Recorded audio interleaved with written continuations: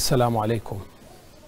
وساعة خبرية لهذا اليوم والتي ستكون من محورين المحور الأول تطورات كورونا وكيف ستنفذ وتطبق إجراءات حظر المناطق. أما الملف الثاني وأمام مشهد اضطربت فيه أحوال الدولة باقتصادها وتدابيرها ما الذي ستفعله الحكومة في ظل هذا الوضع المتأزم عالميا والمنعكس محليا؟ أمام حكومة تنتظر اكتمالها لإنجاز مهامها التنفيذية وكيف ستتعاطى القوى السياسية مع هذه الأزمات التي تعد الأصعب في ظل التحديات التي يمر بها البلد. سأضيفي للمحور الأول الدكتور سالم مزهر مدير مستشفى الكندي وعضو خلية الأزمة في بغداد الرصافة. أهلا بك دكتور. مرحبا بك. تحية لكم وتحية لجمهور مشاهديكم الكرام. حياكم الله. دكتور هناك تصاعد في الإصابات في خصوصا في الرصافة. إلى ماذا تعز السبب؟ يعني حقيقة أسباب كثيرة وهذا التزايد يعني إلى حد ما يعني كان متوقع. جنابك الكريم تعرف بداية استشراء الجائحة يعني تم التعاطي معها بطريقة اعتمدنا الوقاية يعني أولا وآخرا. والموضوع إلى حد ما يعني نجح بدلالة الأرقام المتدنية اللي تم تسجيلها مقارنة ب يعني دول الإقليم أو يعني الدول خارج الإقليم. بمعنى أنه كان يعني إيمان أنه هذه الجائحة لأنه بدون علاج يعني علاج مختار علاج مثالي ولأنه بدون وقاية. كذلك كم المعلومات المتوافر عن هذا المرض قليل. ويوميا يتم يعني تعديل بعض المعلومات عنه من قبل منظمة الصحة العالمية. عليه يعني شفنا أنه لا مناص سوى بالحظر الصحي واللي هو حقيقة يعني هذا يعني هذا حس غريزي للإنسان أنه يأمن شر الأوبئة بلجوءه إلى يعني الانكفاء داخل بيته هو وأولاده. الحظر المناطق ينفع يعني. للأسف الشديد للأسف الشديد. اللي حصل إنه تم فهم يعني فتح الحظر الجزئي إنه العراق سجل انتصار على المرض وحقيقة هذا ما صار يعني. لا زلنا نسجل حالات.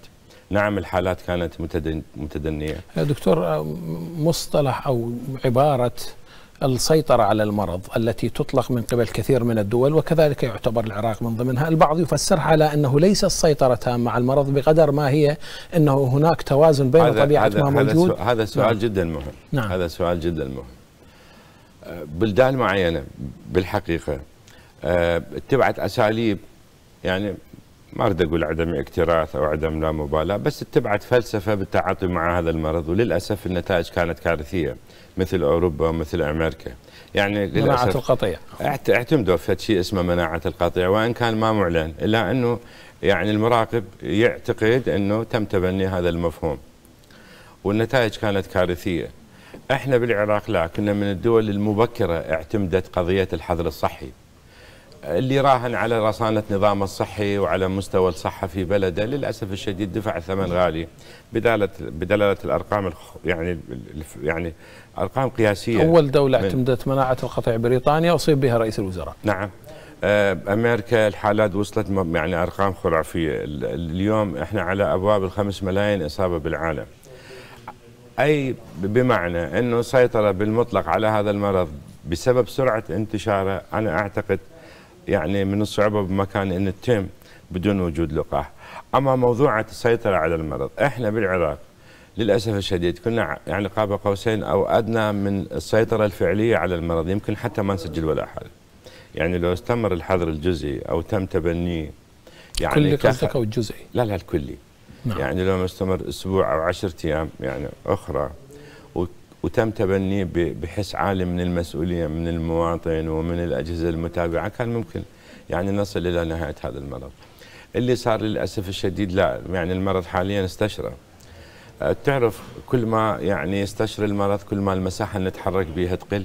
كل ما أيضا خياراتنا الضغط الشعبي المشكلة خياراتنا يعني أيضا تقل. نعم إحنا نقدر هذا الموضوع وهذا واقع حال يعني نتعامل وياه. لو كانت الأمور المادية أو الاقتصادية كما أكيد. موجود في الخارج كفل الجميع كان صح. ممكن يستمر الحظر. طبعا لجؤوا له بالخارج لجؤوا له لكن بعد فوات الأوان يعني. يعني لجؤوا له مع الوفرة المالية المتوفرة مع, مع, مالية مع الكفالة ممكن كان ممكن كان ممكن يلجأوا له من البداية وكان يكون الخيار رقم واحد. للأسف الشديد يعني اللي بعد ما استشرت الحالات وصارت جائحة بمعنى تم اعلانها بانديميك من قبل. لكنه الآن يعيشون في تناقض دكتور. يعني آه، بعض الدول آه، اعتمدت مناعة القطيع. بعد ذلك بدأت ارتدت عن ارتدت عن هذه الفلسفة رجعت. أخرى. الآن أيضا بدأوا يسمحون ويفسحون المجال أيضا. وفق ضوابط نعم. وفق ضوابط وفق ضوابط وفق ضوابط. تباعد مجتمعي تلبس ماسك خارج يعني محل سكنك أه تعتمد أساليب تقرها يعني دوائرهم المعنية. وهم الآن يعني أه التارجت المرسوم أو الهدف اللي يعني في أذهانهم إنه يصل إلى مرحلة السيطرة على المرض نرجع للسؤال اللي نعم. كلش مهم السيطرة على المرض دوائر الصحة بالدول اللي استشرى بها بشكل كلش يعني أعداد هائلة إنه متى ما صار انسجام بين أعداد المرضى خصوصا المرضى اللي يحتاجون عناية تنفسيه فائقة ويا ويا نسبة يعني أعداد الأسرة اللي عندهم يعتبر نفسهم مسيطرين. يعني مو مو مسيطرة النهائية لا لا لا لا بالمطلق لا لا لا لا يعني بسبب الأسلوب اللي تم تبنيه ما عاد بالإمكان إنه يعني يرجع لل يعني الهدف رقم واحد، الآن الهدف هو رقم اثنين الخيار الثاني أو البديل إنه أنا أخلي عدد الإصابات على الأقل مقاربة لأعداد الأسرة اللي عندي عند ذاك أقول أنا سيطرت. والحالة الموجودة عندنا الآن؟ للأسف الشديد للأسف الشديد الآن ناقوس الخطر يدق بالبلد. وخصوصا في بغداد الرصافة. نعم في بغداد الرصافة أو الكرخ. وإحنا ياما يعني حذرنا أنه المناطق المكتظة بالسكان لها خصوصية. طريقة التعاطي مع هذا المرض من قبل المواطنين من قبل الأجهزة الأمنية. والمواطن اليوم يبدو لي قلت لك يعني تم فهم الرسالة خطأ من قبل الكثير بدلالة أن الآن الأسواق مكتظة. يعني آه، كان في يوم من الأيام أنه حتى ظواهر يعني مجتمعية غابت بسبب يعني حرص المواطن وحس العالي بالمسؤولية ومروءته واثاره جدا دنت الأرقام، للأسف الشديد هذا الحس ما عاد يعني نتلمسه الآن خصوصا إحنا أمام جائحة ما ينفع بها القسمه على الاثنين، يا أما الكل تلتزم يا أما إذا التزم 90% و 10% ما التزم ما كأنه ما سوينا شيء. يعني عدم الالتزام من قبل القلة القليلة يعرض جهود يعني 90% أو 95% من الملتزمين ويبدد حتى هاي يعني جهود مؤسسات الصحة والدوائر الساندة. يعني عليه أنا أدعو من هذا المكان إنه بالوقت اللي نشهد تزايد الأرقام بدأ يصير ضغط على مؤسساتنا. وأخشى ما أخشى إنه نلجأ إلى أساليب إنه يجينا المريض نقول له إيه أنت بوزيتيف روح ارجع ببيتك وهذا علاجك وهذا ما أخشاه. ذاك الوقت يعني أزعم أنه ما يتم السيطرة على المرض أو بدأ يعني مرحلة ما قبل انهيار المؤسسات الصحية. مناطق الرصافة أكثر المناطق الآن خطرا هي مدينة الصدر. أي منطقة مكتظة أيا كانت؟ أي مدينة مكتظة بسبب سرعة انتقال الفيروس؟ هي منطقة أكثر المناطق إصابة بالرصافة الآن. الرصافة والله الأعم الأغلب يعني مناطقنا إحنا أكثر شيء مدينة الصدر. كمالية بالبداية الزعفرانية وبعدين بدأت تقل هاي الأعداد. آه، بشارع فلسطين عندنا إصابات الشعب عندنا إصابات لكن يعني بوتيرة مختلفة. حقيقة في فترة من الفترات كنا نراهن على موضوعة أنه استمر يعني معدل الإصابات بمستوى أفقي. هذا المستوى الأفقي كان يعكس مدى حرص المواطن ومدى نجاعة الأساليب اللي نعتمدها. الآن لا بدأ عندنا يعني آه، خط بياني عام من نوع آخر خط بياني عمودي وهذا حقيقة الخطر يعني. يعني من تسجل مثلا 10 حالات من منطقة صغيرة أو 15 حالة من منطقة صغيرة إلى هذا ناقص خطر. يعني يكون نولي له اهتمام.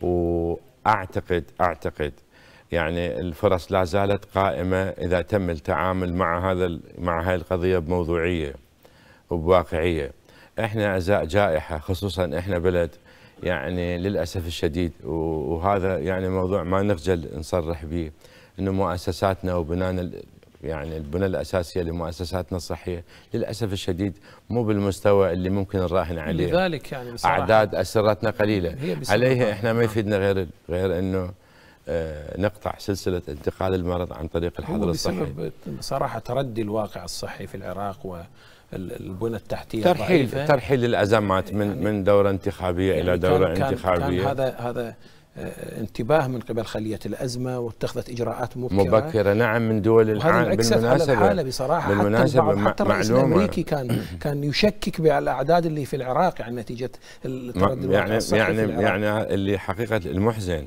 إنه مع هذا الانتصار اللي أقرب ما يكون إلى إنه يعني إعجاز طبي تم تحقيقه للأسف الشديد الآن بدينا نسجل حالات عالية. يعني كثير من منظمات الصحة يعني راهنت أنه البلدان مثل العراق راح يغرق بهذا المستنقع وراح يسجل إصابات بالآلاف. لكن يعني الحس العالي بالمسؤولية من المواطن العراقي الإجراءات المبكرة حالت دون آه، يعني تحقيق هذا التوقع.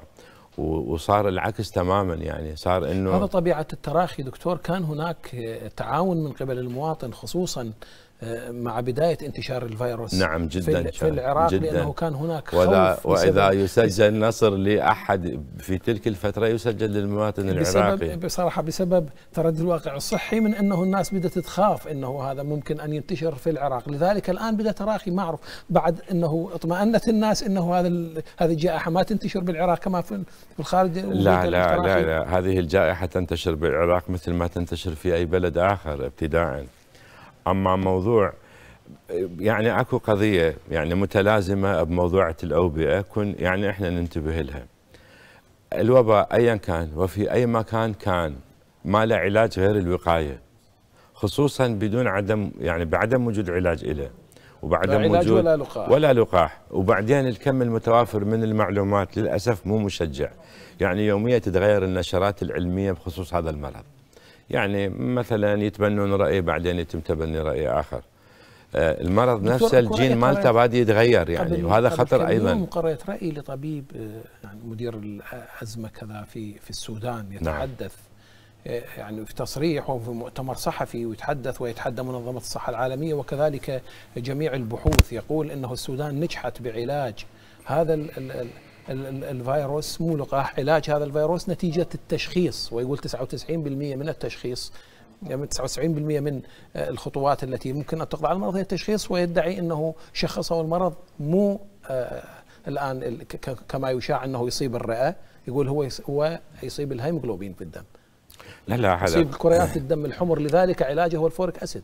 لا يقول إحنا طبقنا هذا البروتوكول وناجح هو حتى بالعراق أيضا مطبق يعني بالمناسبة يعني البروتوكولات العلاجية اللي تم اعتمادها بالإضافة للبروتوكولات اللي يعني موصى بها من قبل منظمة الصحة العالمية إحنا اعتمدنا بروتوكول خصوصا في دار صحه بغداد الرصافه يعني ننطي tonics ننطي زنك ننطي folic acid ننطي multivitamins كلها ننطيها.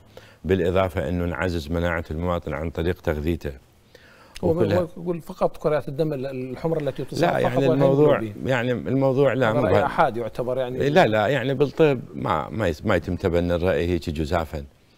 وهو صحيح أكو دراسات بالمناسبة يعني هي مو مو غريبة هاي. يعني هاي معروفة بأوساط الأطباء. بالفعل يعني المرض يصيب يعني عند الأطفال. أكو حتى متلازمة. كاوساكي هسه اللي صارت بإنجلترا إنه يصيب الدماغ يعني. ويصاحبه الالتهابات يعني تسمم دم جرثومي وبعدين ينتهي فشل كلوي. آه، الرئة مو بالضروره تنصاب بالبداية لا هو يشتغل يحلل يعني الدم الحديد يفصل عن مكونات الدم الأخرى وهي واقع يعني وهذا مؤشر عليه من البداية يعني مو ما هي مو معرفة جديدة يعني حتى هو يعني يكون هذا سبق إلى لا معروف هذا وهاي منشوراته بأدبيات منظمة الصحة العالمية موجودة يعني.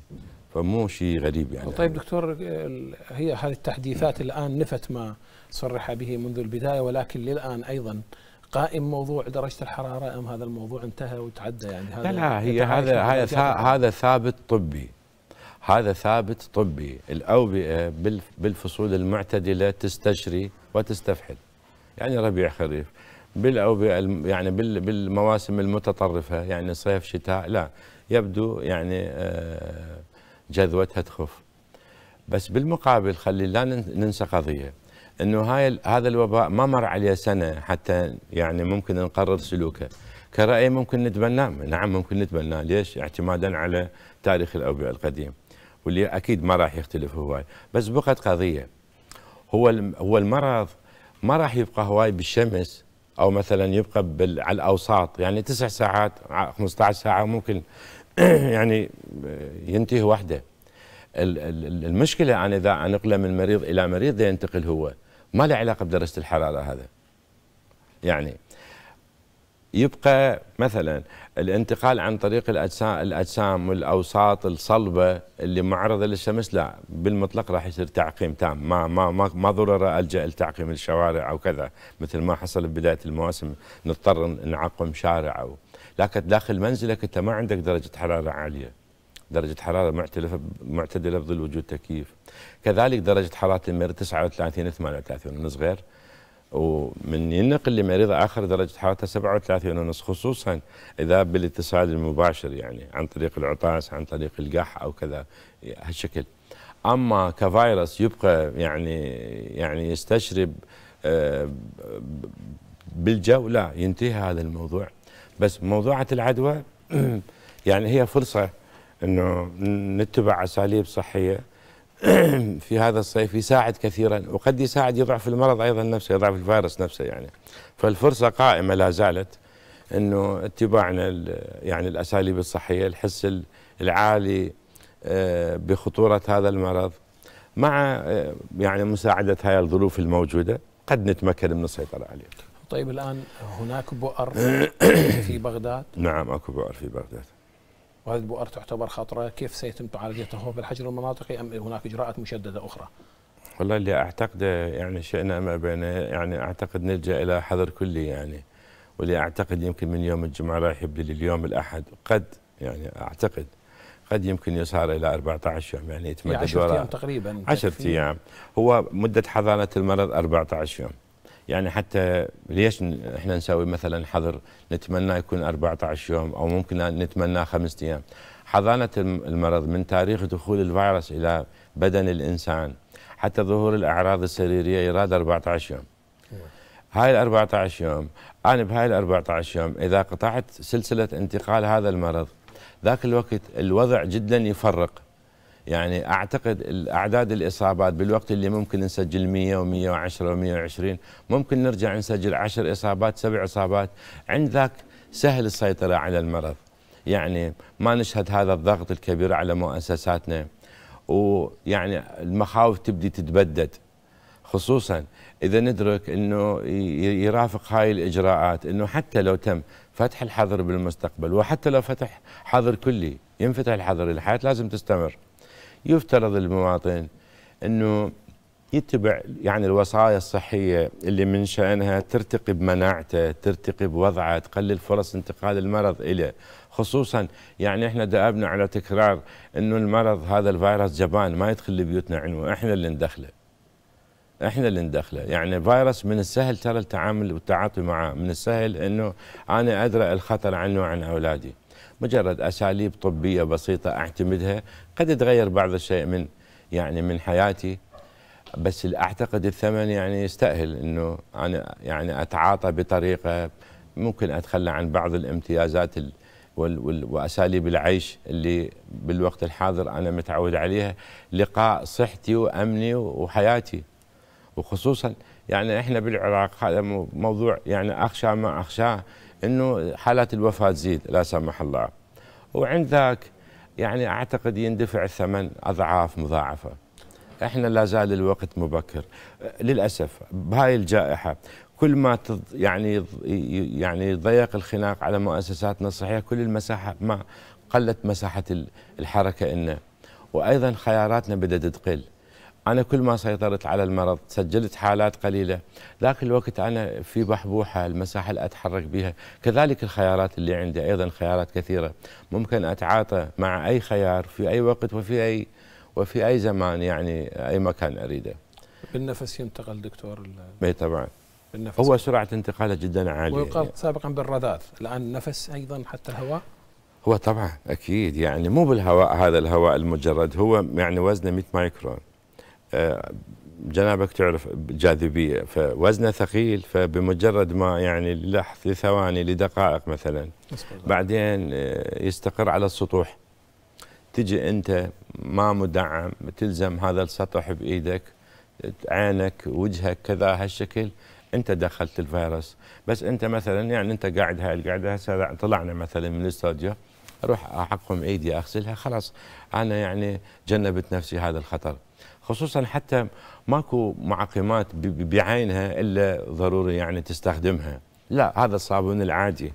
يعني إذا تغسل لمدة 21 22 ثانية يسوي له شدنج يوقع الفيروس يعني. فهو من السيطرة من السهولة بمكان يعني السيطرة عليه يغسل دكتور يقال. نعم. الفيروس يقال إنه الجدار الخارجي ما يتحلل أم فقط يسقط من اليد؟ يسقط من اليد ويتحلل لأنه الغشاء مالته فوسفوليبيد يعني مواد دهنيه يعني الصابوني فالصابوني يحلها إي يحلها يحلها. كذلك الحر ليش نقول دائما الحر؟ بس أنا هسه امنت من موضوعة إنه ما موجود مثلا خارج منزلي هو. بس هذا ما يمنع إنه مصاب ممكن أنا أكون على مسافة تماس وياه ممكن آه يعني ينقل للمرض إلى. نعم. عن طريق الدكتور سالم مسهر مدير مستشفى الكندي وكذلك عضو خلية لازم في بغداد. شكرا جزيلا لك. ممتن لكم. شكرا, شكرا جزيلا. سادتي انتهى هذا المحور. فاصل ونعود حتى المحور الثاني. شكرا نبقى وأنت تتفضلوا في البقاء معنا.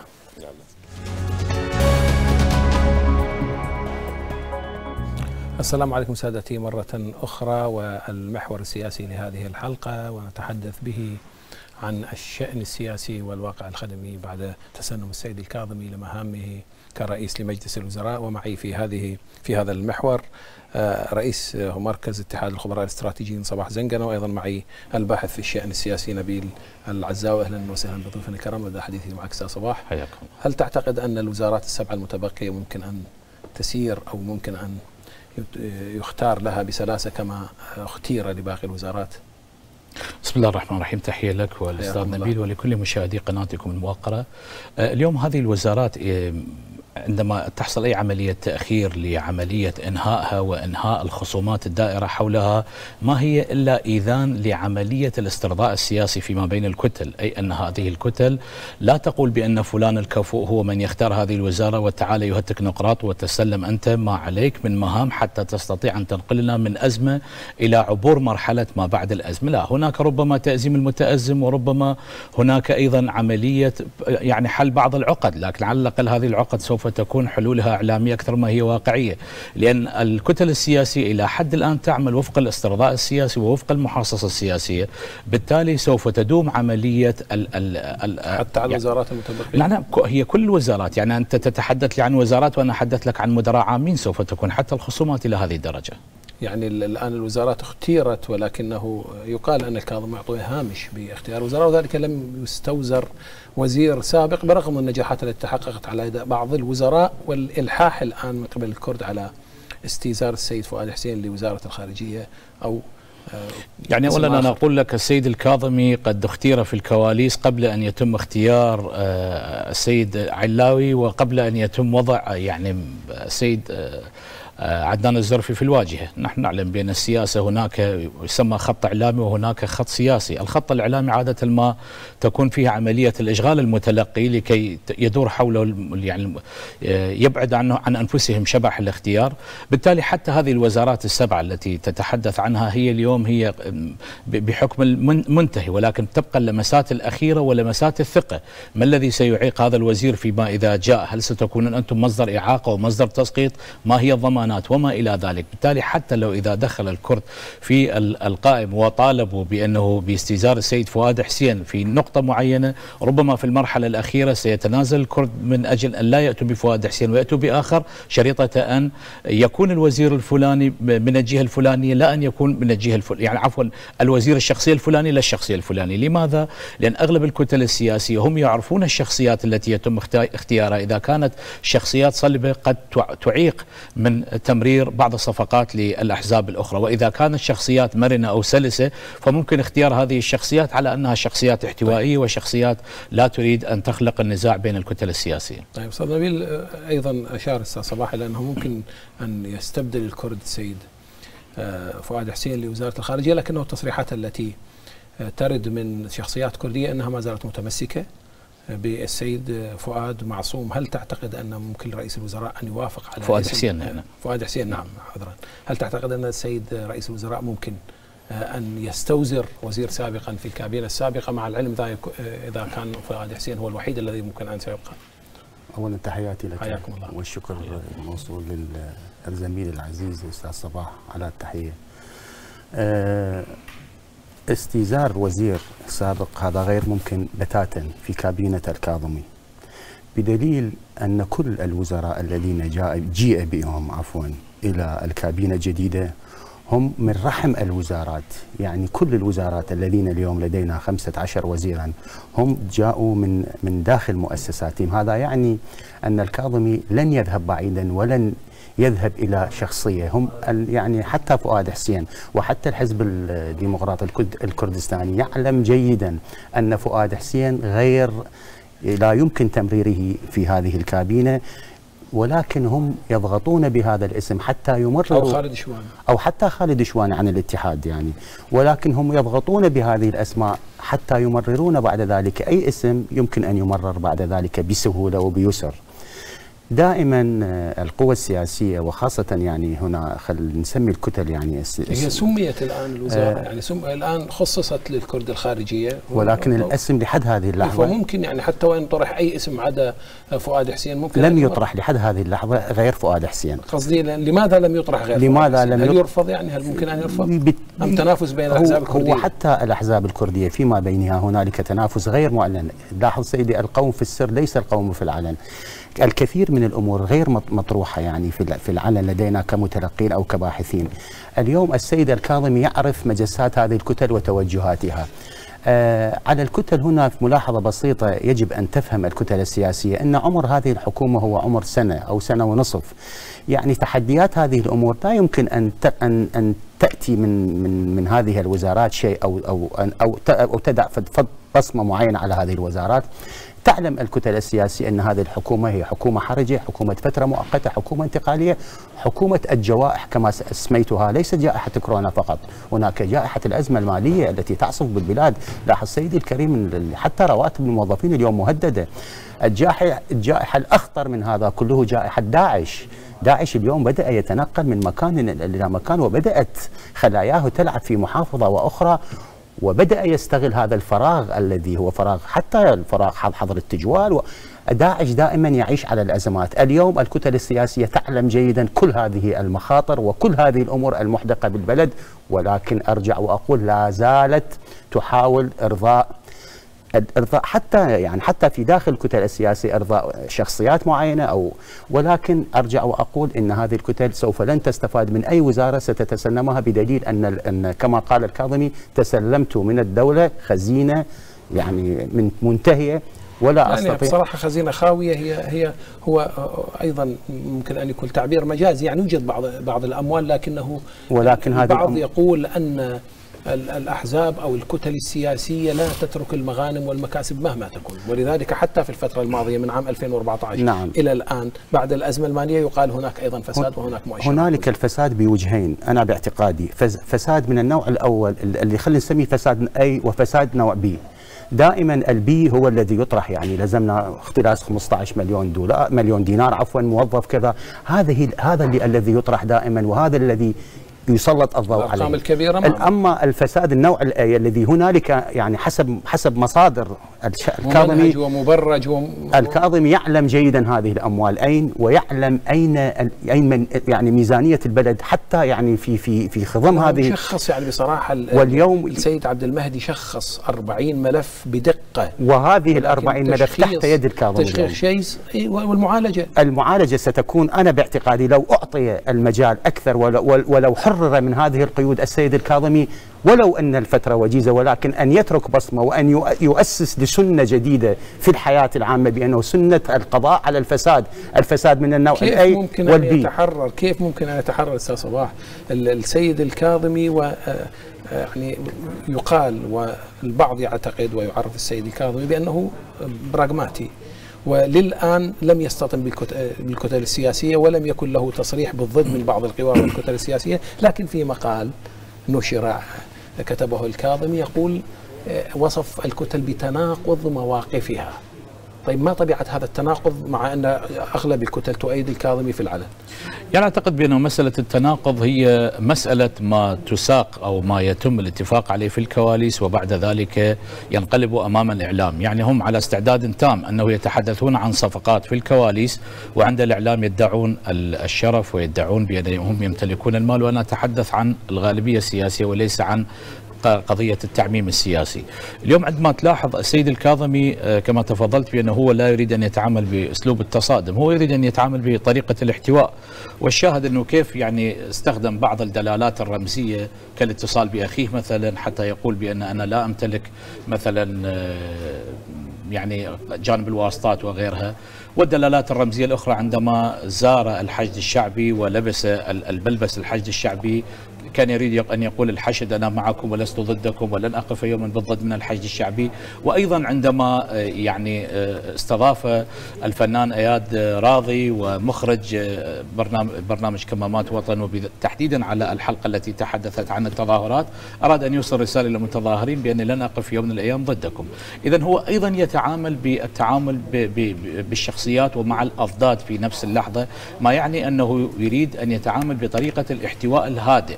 وطبعا أنا يعني في هذه النقطة ربما أتفق مع أي رئيس يأتي في ظل هذه المرحلة الحرجة أن يقوم بمثل هكذا أمور. عملية التصادم مع أي جهة يحتسب على حساب الجهة الأخرى. اليوم إذا تصادم مع الحشد سوف يحتسب بالجانب الأمريكي.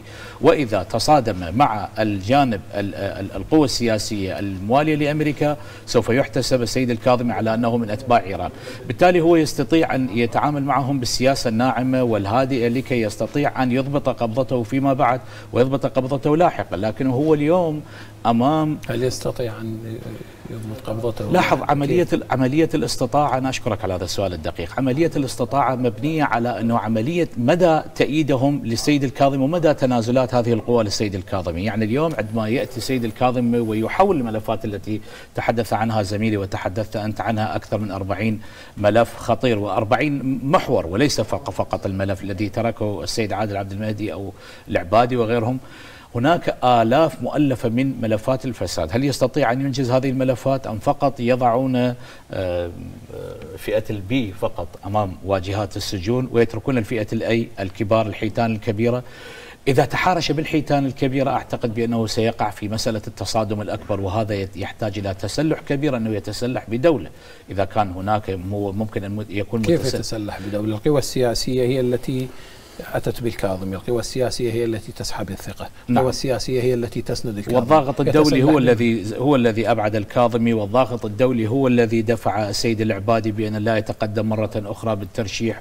والضاغط الدولي أيضا هو الذي دفع وحتى ضاغط الشعب أيضا هو الذي دفع بالسيد عادل عبد المهدي أن لا يكرر التجربة. أنا أتحدث لك عن لغة التسريبات واللغة الكواليس لأن يعني في السياسة جبل الغاطس نسبة الغاطس من جبل الثلج في السياسة هي هذه الحقيقة الموجودة التي لا تؤتى عن طريق الإعلام ولكن تؤتى عن طريق الكواليس السياسية التي تبين حجم المشكلة ومستوى تفاقم تفاقم الأزمة. اليوم عندما نشاهد مثلا يعني يظهر إلى سطح مشاكل كثيرة من بينها أنه 752 آه، طن من الحنطة قد ابتلعتها الطيور مثلا على سبيل المثال.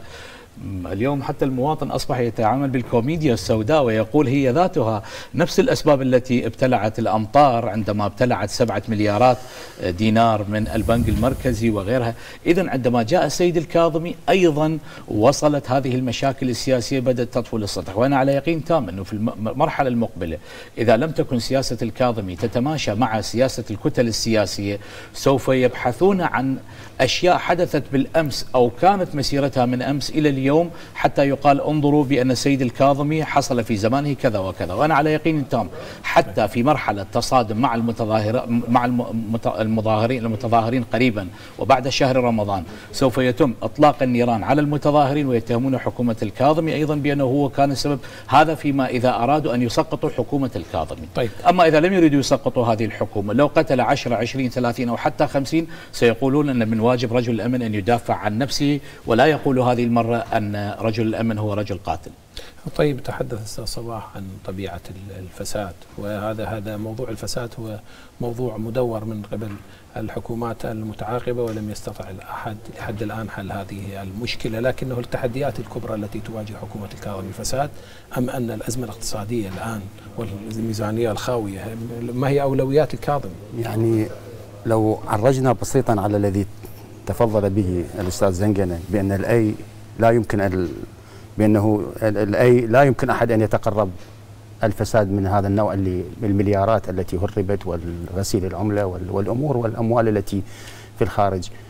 الكثير من الأمور يعلم بها جيدا الكاظمي وهو على يقين أن هذه الأمور يمكن اللعب في هذه الوقت ولا ولاحظ سيدي الكريم أن الكاظمي يمكن أن ينجح في هذا. بدليل أن الكاظمي لم يأتي من كتلة سياسية ولم يأتي من شرنقة الأحزاب وهو يعلم جيدا بأن لا يعني لا مستقبل البعض يعتقد هذه نقطة ضعف مو قوة لا يعني بالعكس ممكن أن يعمل. لا بالعكس لأن من راح يسنده؟ لأن مجرد أن يفتح الملفات الفساد كثير من الكتل صحيح السياسية متورطة صحيح. صحيح ممكن أن تسحب الثقة بسهولة تلفق بعض التهم وممكن أن ول وليبدأ وليبدأ وقال وقال سأكاشف الشعب العراقي وهذه حكومة حكومة ليس حكومة غرف ظلم غرف مظلمة الحكومة مفتوحة وبدليل أن المقالة كما قرأتها سيدي الكريم يعني قد أوجز الكثير من النقاط ولكن لم نحن كمتلقين نعرف هذه النقاط أغلبها هي كانت هي عقبة منذ أكثر من 15 سنة.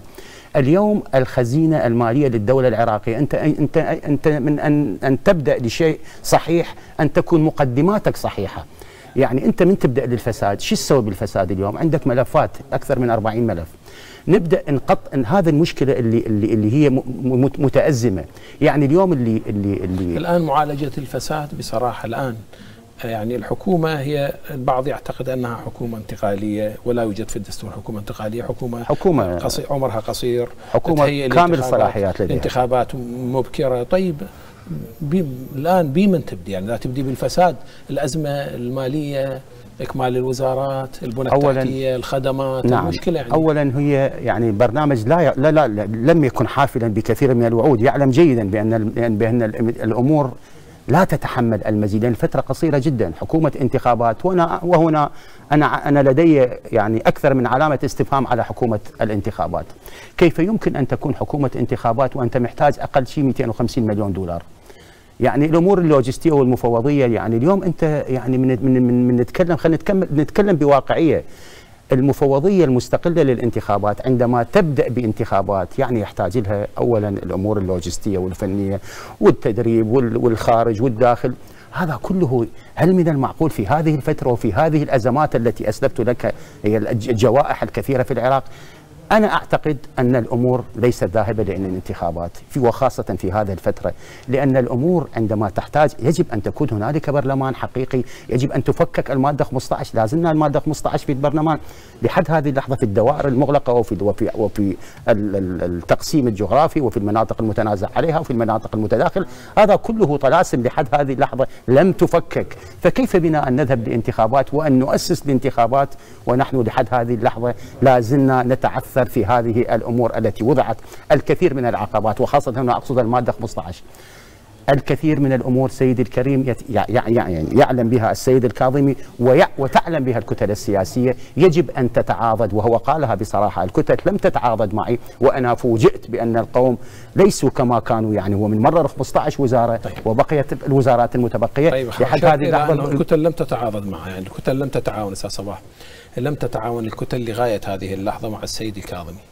اذا كيف أتت به؟ اولا الكتل الكتل آه، لاحظ آه، في السابق كانوا الكتل دائما ينكرون ويقولون نحن لم نأتي بفلان ونحن لم يأتي بالفلان.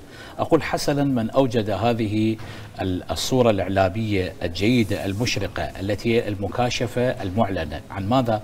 عندما يتم استيزار يعني عندما وضعوا ثقتهم أعطوا التكليف إلى السيد محمد توفيق علاوي كانت الكاميرا تمرر على كل الأحزاب الموجودين هناك حتى لا يقال أحد بأن أنا لست مسؤولا ويوقع باللائمة على على من؟ على رئيس الجمهورية ويقول أنت من تتحمل المسؤولية. وحتى آه، عندما آه، تم اختيار آه، السيد عدنان الزرفي وكذلك عندما تم اختيار السيد الكاظمي الكاميرا أصبحت تنظر للكل حتى لا أحد يتنصل من المسؤولية. إذا كانت هذه فكرة عميقة وجيدة بمعنى المكاشفة أن هذه الكتل من يقفون وراء. إذا هم يتحملون المسؤولية. يتحملون مسؤوليتين المسؤولية الأولى أنهم يتحملون فيما إذا كانت هناك إخفاقات فهم مسؤولون عن هذه الإخفاقات لأن هذه جزء من اختياراتهم. المسؤولية الثانية أنهم في المستقبل إذا وقفوا بالضد منه فسوف يقول أنا لم أتي من تلقاء نفسي بل أنتم من جلبتم وقوفكم ضدي هذا يعني أنني لم أحقق لكم مطالبكم التي طلبتموها هذه المطالب هي ليست مطالب جماهيرية طبعا وأغلبها هي مطالب حزبوية فئوية خاصة. لهذا أعتقد بأنه عندما ظهروا أمام الكاميرا اليوم أصبحوا الكل أمام المسؤولية كل جهة وكل ونحن كتلة. أمام مسؤولية الوقت أيضا. نعم شكرا لك. شكرا لك. نعم. يعني رئيس مركز اتحاد الخبراء الاستراتيجيين. شكرا جزيلا حياكم الله. الله يبارك. شكرا جزيلا الباحث في الشان السياسي نبيل مساعدتي. شكرا لحسن متابعتكم. السلام عليكم ورحمة الله وبركاته.